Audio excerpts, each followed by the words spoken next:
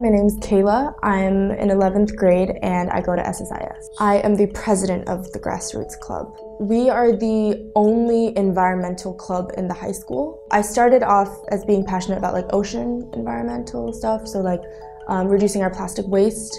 And so we're working on that too. So our club's vision this year was um, reducing our plastic waste. Last year we won this competition um, for our initiative, Compost Initiative, and we won $1,000 from that. Our school actually creates a lot of food waste, um, but most of this food waste goes to landfills. We realized how much food was being wasted and how much we could actually compost. We've established a compost system in our school. It's behind our middle school building what we do is we basically convert our food waste into fertilized soil. It's really nutritious for our plants and for our SSIS garden, and it doesn't end up in a landfill.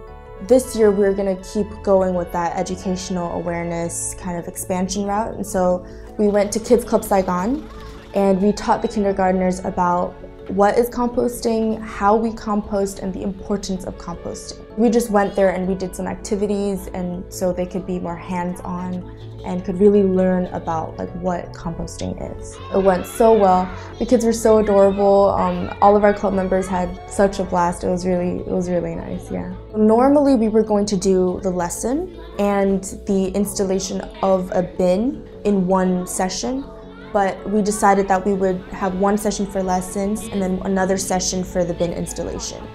And so we're gonna go a second time very soon, hopefully, um, where we're gonna actually install a composting bin. I think the future of um, global awareness and environmental sustainability rests in the hands of our young generation.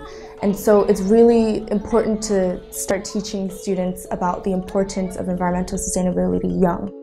You have hope.